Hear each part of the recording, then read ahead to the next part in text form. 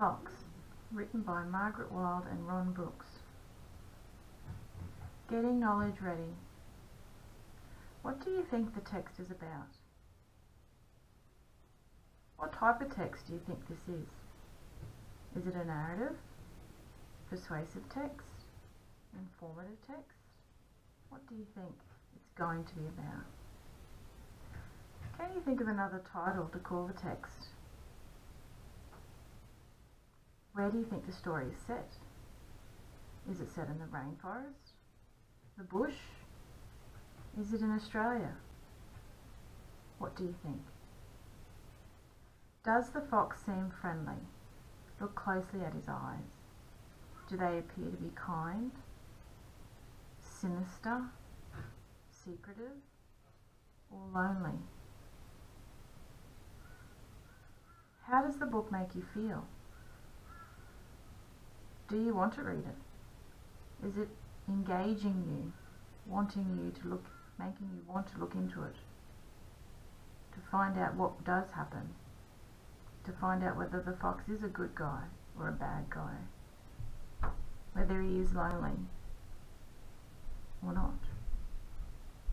How does the book make you feel? How does the front cover make you feel? Through the charred forest, over hot ash, runs dog, with a bird clamped in his big, gentle mouth.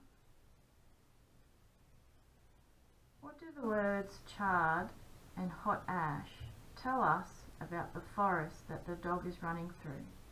What could have happened? What is the author telling us about the personality of the dog when she says big, gentle mouth? Write your answers on the slide. Through charred forest, over hot ash, runs dog, with a bir bird clamped in his big, gentle mouth. He takes her to his cave above the river, and there he tries to tend her burnt wing. But Magpie does not want his help. I will never again be able to fly, she whispers. I know, says Dog. He is silent for a moment. Then he says, I am blind in one eye, but life is still good. An eye is nothing, says Magpie. How would you feel if you couldn't run? Dog does not answer. Magpie drags her body into the shadow of the rocks until she feels herself melting into blackness. What has happened so far in the text? What happened to Magpie and why is Dog helping her? How does Magpie feel? Why does she feel that way? What does it mean by charred forest?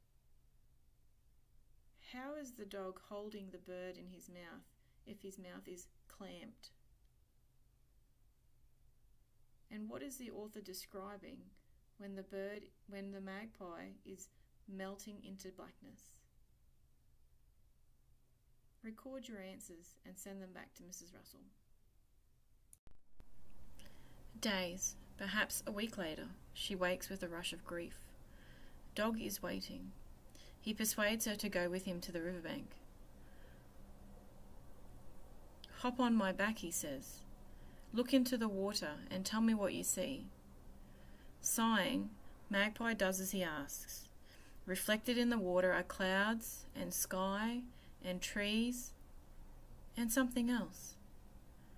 I see a strange new creature, she says. That is us, said Dog. Now hold on tight.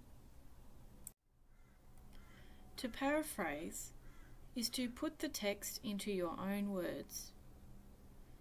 In this activity, we're asking you to paraphrase what is happening on the page using your own words. You can record it or you can just type it in. We're going to work out the meaning of unfamiliar words from this piece of text. When Magpie wakes, she wakes with a rush of grief. What does grief mean? Can it be used as a different word?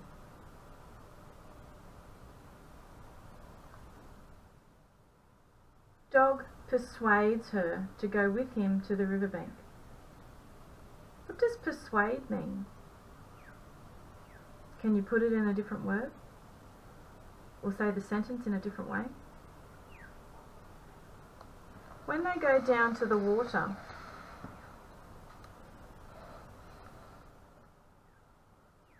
it says reflected in the water are clouds and sky and trees and something else. What does the word reflected mean? What can Magpie see? Can you give us your answer through a video or through text? Look at all the pictures of the fox on the story. What do these images tell you about the character of the fox?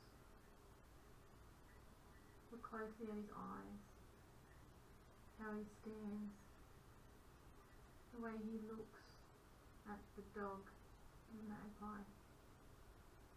Brainstorm words to describe the fox. I've given you the first example. Looks like he has mean eyes. Add the rest of your ideas on the dot points provided. After reading, answer the following questions. How did reading this help you answer the questions? Did you enjoy the text? What did the text tell you?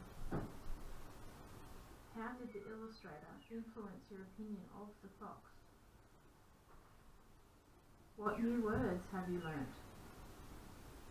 Was there a message in the text? Predict how Dog felt when he woke to find Magpie and Fox gone. Write, a new ending with Fox and Magpie being reunited.